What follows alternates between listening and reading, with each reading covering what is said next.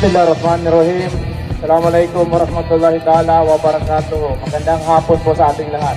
Mga bisita po natin na nandirito ngayon, sa mga professional and expert riders, sa lahat po ng mga riders na naglakas loob na pumunta at nagkatiwala yung sarili sa amin.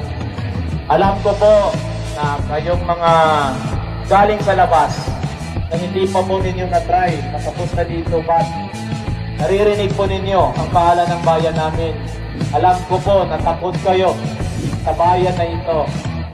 Itong palaro na ito, unang-una, nagpapadama at nagdidesisyon na ang tao dito ay mapagmahal at friendly ang mamamayan ng bayan na ito.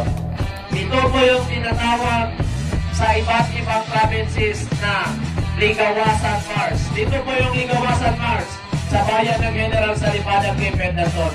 Ang gobyernong Matiakap ay aalagaan ang kapatanan para sa magandang bukas ng bawat mamamayan ng bayan na ito. Happy 29th founding anniversary!